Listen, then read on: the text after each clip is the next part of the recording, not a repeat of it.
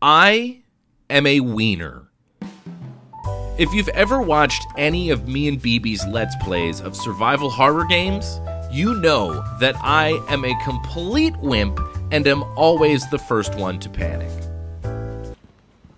So maybe explore a bit more in this one. Ah! Ah! Jesus! And you don't have to scope. No. Oh my god! Despite my raging cowardice, survival horror games might rank in my top three favorite genre of video game. I love when games make you feel something, and that feeling of dread and panic comes in abundance when horror games are crafted with the right amount of pacing. But what if, along with that lurking sense of anxiety, you added a little pinch of silliness to the formula?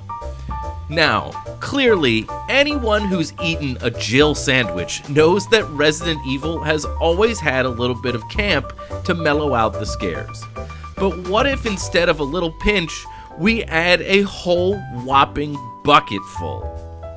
If games like Resident Evil and Dead Space are the creme brulee of horror games, then Choo Choo Charles is a graham cracker that a cocaine addicted baker added a metric ton of goof to.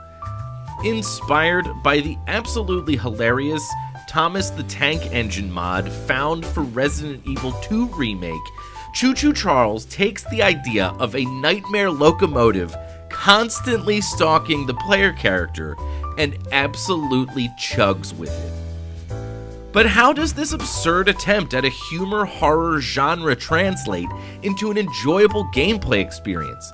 And how far can such a ridiculous premise be stretched to make a video game long enough to justify its price tag? The answer is honestly kind of mixed. Choo Choo Charles isn't lighting the video game world on fire, and honestly, it's hard to say that it's worth its price point. I'm Dirty C, and before we begin, please don't forget to like, subscribe, and comment down below, as this will only bring your wildest dreams to fruition and make me feel all warm and fuzzy. Choo Choo Charles was absolutely outrageous. Let's talk about it.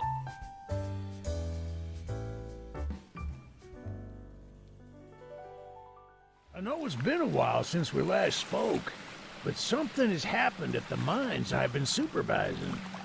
No, trust me, you'll want to make time for this. You're looking for something big to keep your museum in business? Well, there's something big on that island. Real big. So many friends, and even my own son are still out there. If anyone can bring this thing down, it's you. It'll be the biggest attraction your city's ever seen, and you can help an old friend. Yes, meet me on the docks at sunset. I hope you're ready for a little monster hunt.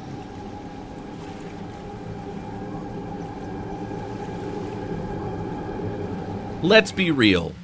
I don't think anyone is playing Choo Choo Charles for the writing. And true to expectation, the story isn't winning any Pulitzers anytime soon. You play as an unnamed protagonist known only as the Archivist, a monster hunter that has been hired to hunt down and eliminate Charles, a sentient train engine that has gone rogue and is terrorizing the people of the isolated island Aranearum. Upon meeting and helping various NPCs, the Archivist learns that a mysterious cult run by mining company owner Warren Charles III is protecting three of Charles's eggs. The Archivist is responsible for snatching these eggs from the clutches of Warren and his cult in an attempt to destroy Charles and keep them from hatching into even more rogue train engines. Like I said, not exactly winning the Nobel Prize for Literature. Clearly, the story in Choo Choo Charles is there to provide some sense of motivation for the character and isn't really the focal point of the experience. It lacks any kind of real thematic focus and is really just a hodgepodge of various generic storytelling tropes thrown together to fill the void of protagonist motivation. But this isn't a bad thing. In fact, it really just adds to the overall absurdity of the game. It plays its part in making the experience as over the top as possible. At no point does the story in Choo Choo Charles ever take itself seriously.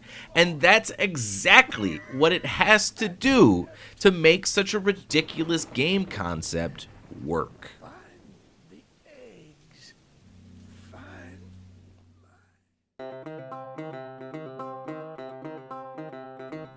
The gameplay loop in Choo Choo Charles is simple but effective.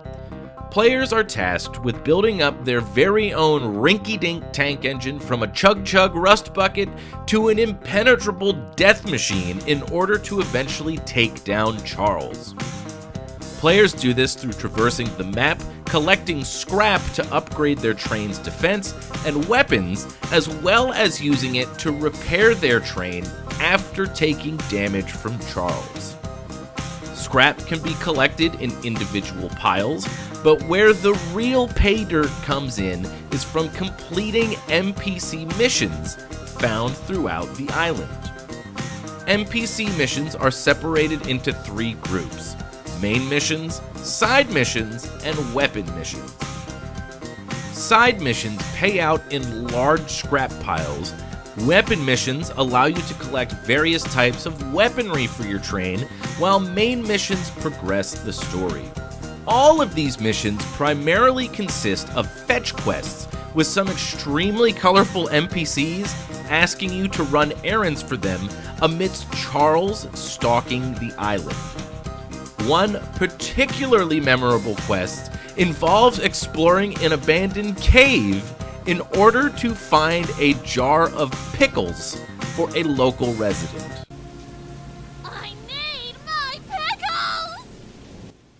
Though for the most part, missions consist of an outlandishly weird local asking you to fetch something.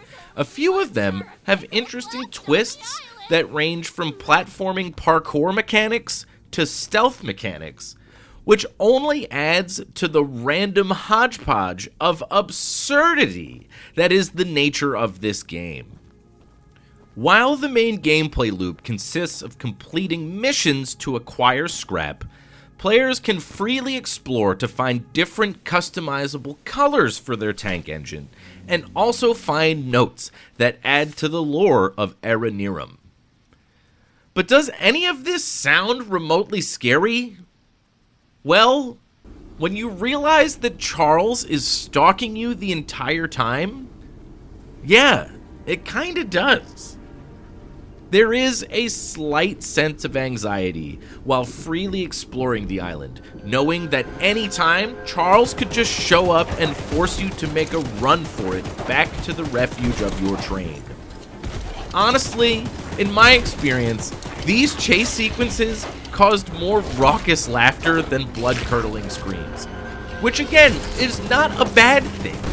It provided just as much entertainment as me and my buddy laughed our asses off watching this outrageous nightmare train chase us to our doom.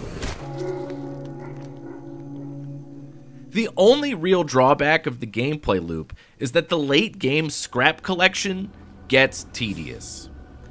Due to having to repair your train after Charles attacks, and the fact that you lose scrap every time you die, means that late game scrap is kind of rare. After completing all the missions, you'll likely find yourself still needing scrap to fully max out your train. In my playthrough, this resulted in aimlessly riding around the map in search of scrap for a solid half an hour just to fully upgrade everything on my train. Honestly, this was really only a minor inconvenience, but was really annoying late game, especially going into the final climax of the game.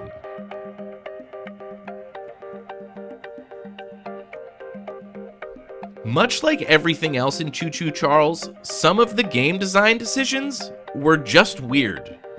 Like I said, some of the mission designs seemed like they were just random ideas thrown together.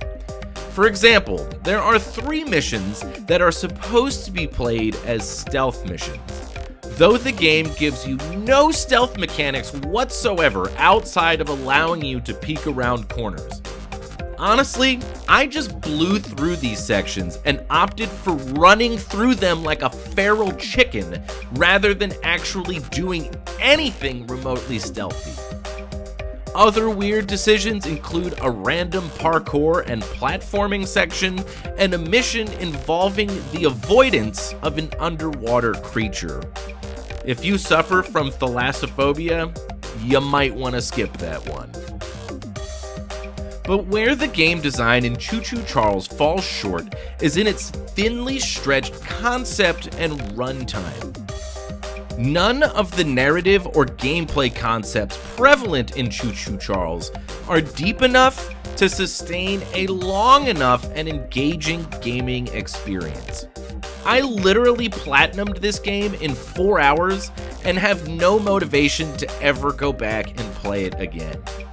And with the price tag of $20, players are going to have a hard time coming to terms with such a short experience. Is Choo Choo Charles scary? Sometimes. Yeah, I guess. Can it constitute as a survival horror game? Sure. Why not? It's a fun enough romp that shoots more for the absurdity of what video games can be, more so than trying to craft a harrowing horror experience. And in that regard, it totally crushes its goal. Choo Choo Charles, with its rapidly thrown together hodgepodge of all around randomness, is simply ridiculous in the most awesome way. But I do not think that's enough to make up for its simple gameplay design, incredibly short runtime, and high price tag. In short, Choo Choo Charles is fun, but simply not worth it. If you stuck with me this far into the video, then you are nothing short of amazing. If you've already subbed, you have earned my lifetime respect. If you haven't yet, please consider doing so, and I will see each and every one of you in the next video.